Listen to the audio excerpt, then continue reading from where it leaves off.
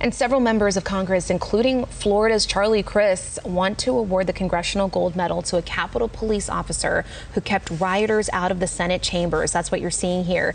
This is Officer Eugene Goodman, lured them away from the unguarded chambers. The bill says Goodman was the only thing standing between the mob and the Senate, and his actions saved lives and defended democracy.